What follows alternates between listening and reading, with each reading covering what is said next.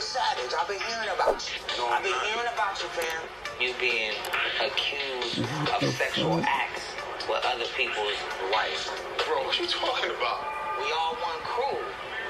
Me, you, A1. I don't know what people think is going What the on. You said that, fuck? look, you told A1 Look at his like hat. him. Oh my god, what the Just say it to me. fuck? Whatever happened, whatever happened with me and Lyrica shouldn't happen. What? I didn't do nothing. What was it? Please. Bruh, all I did, it just was conversation.